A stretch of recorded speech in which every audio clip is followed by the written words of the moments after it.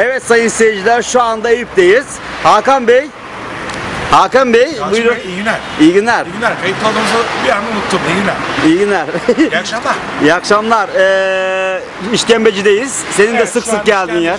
Kulüpçü'de. Burası Eyüp ve İstanbul'un güzide semtlerinden biri. Her geçen gün biraz daha gelişiyor. Eyüp, Balat özellikle. Tarihi binalarıyla ünlü. Ee, ve çok değerli binalar. Ve e, yakın zaman içinde bol bol bu binalar restore edilerek Haliç'in mükemmel görüntüsü, yemyeşil görüntüsü birleştiğinde İstanbul için gerçekten vazgeçilmez mekanlardan biri olacak. Eyüp ve Balat dediğimiz aklımıza gelen bir şeyde uykuluk. Yememiş olsak bile arabamıza geçtiğimiz zaman uykulukçu imareleri olan dükkanlar görüyoruz. Nedir uykuluk? Uykuluk gerçekten uyku getiren bir şey midir?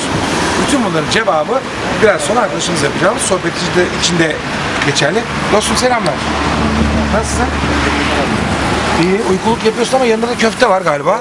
Izgara çeşitlerimiz de var abi. Aa süper. İşte uykuluk Yalçın'ın çektiği. Evet abi. Hocam nedir bu uykuluk? Yani neden yapılır? Hayvanın gırtlak ve gerdan tarafı abi. Gırtlak ve gerdan tarafındaki etlerden. Evet. Değerli bir et midir burası? Bulunmaz et. Bulunmaz et. Bulunmaz fazla. Biz Bulun- bunu bulduk. Bulunmaz. eti bulduk sayın seyirciler. Buradaymış. Ee, peki e, uykuluk ne, yani nedir? Ee, Nasıl hazırlanır? Biz- Bize biraz bahseder misin? Lezzetli olması için ne yapılması gerekir? Önce Önce uykuluğu Yalnız bir şey soracağım. Ee, uy- bu sır mı yapması? Yani söylememek mi gerekiyor? Öğrenirlerse sizin mesleği elden alırlar mı? aynen. Onun için mi, Alırlar mı? o- onun için mi söylemiyorsunuz? Gerçekten mi? Şimdi uykulu ince böyle doğrayacaksın eti. eti. Evet. Sonra Mangalı yapacaksın. mangalı yakıyoruz, unutmuyoruz. Mangal yakılıyor, evet. Atıyorsun içine. Gerçekten de Tat alması için baharatları baharatları. Bu mudur sırrınız? Demek ki ben uykuluk yapamıyordum. Benim hatam ben mangalı yakmayı unutuyordum. Bu detayı da burada öğrenmiş olduk. İşin şakası. Peki niye uykuluk gece yenir? Ağır değil midir yani et yemek mesela gece?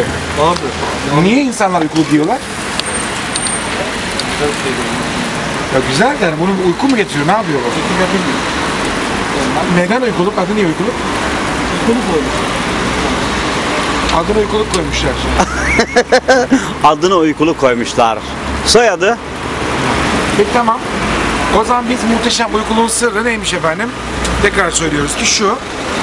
e, bir mangal gerekiyor. Mangalı yakıyoruz. Biraz zor aldık ustanın ağzından ama uykuluğu atıyoruz. içine baharat atıyoruz. İşte uykuluğun lezzet sırrı burada. Niçin peki, peki uykuluk hep buralarda satılıyor? Burada çok bitkin sütler. Yani niye İstanbul'da başka bir yerde yiyemiyoruz bunu? Şeyde de var. Ee, Sütlüce'de de var. İşte Sütlüce var ve karşısında var işte. İki- Yani e, Haliç civarlarında var. Evet. Başka yok. Hiçbir yerde yok. Peki. Çok teşekkür ederiz. Bizi aydınlattınız. Sağ ol kardeşim. Efendim uykuluk gördüğünüz gibi bu röportajı yapmasak da olurmuş. yani ızgarada pişen bir şey. Hayvanın gırtlak ve gerdanından alınan etlerden yapıldığı bilgisi bizim için yeni bir bilgi. Bunun dışındaki normal mangalcılarımızın da kendi evinde yapabileceği bir bilgi. Ama yine de en lezzetlisi burada erbabında ustasının elinden pişen uykuluk. İyi akşamlar Türkiye. Makara